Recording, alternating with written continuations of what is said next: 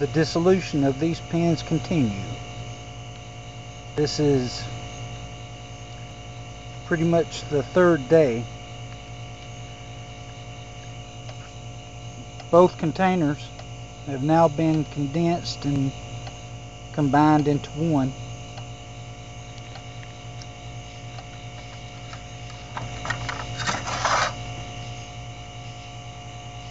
Um,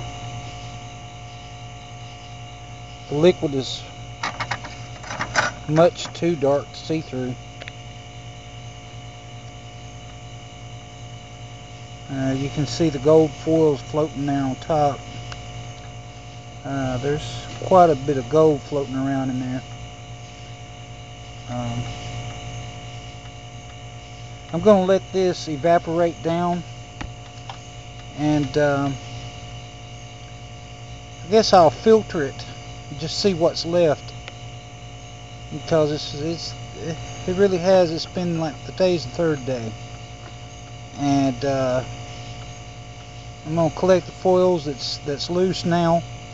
And if it if there's not a whole lot of pins left I may just go ahead and process them in uh, an AR and, and, and just speed it on up some.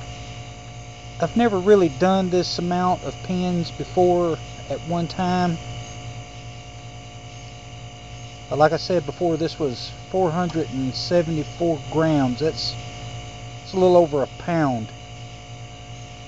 Uh, normally I do about 100 grams per batch there around and this has kind of been a learning experience for me too. Next time I won't try to do so many at one time. Um, I've invested in another double burner so this is this is the double burner here it's the one I already had. So I've invested in another one. Of course, I've got like a couple of single burners like this one.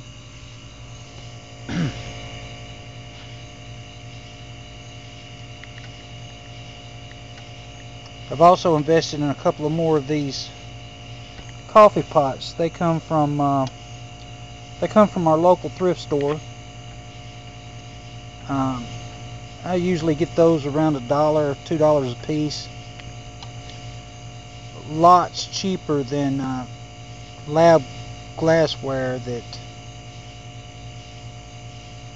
that you can buy.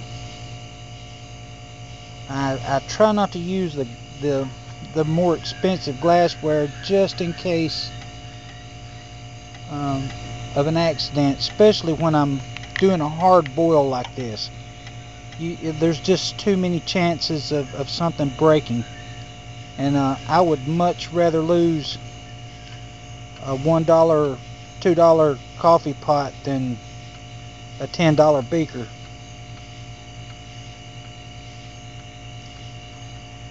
But uh, I'm to give this about until in the morning. Uh, it's somewhere around 10 o'clock uh, p.m. here. So this should be evaporated down nicely by 8 or 9 o'clock tomorrow morning. I'll go ahead and shut it off, let it cool, filter, see what I get out of it, see what's left. Um, I'll, I'll uh, I'll take some more video of the foils and, and whatever's left. And if it if I think that I can go ahead and, and finish the digestion this way, there's not a whole lot of it left, I'll go ahead and and do that because I would like to get a yield on this. The best way to get a yield is to have all of it completed in the same manner.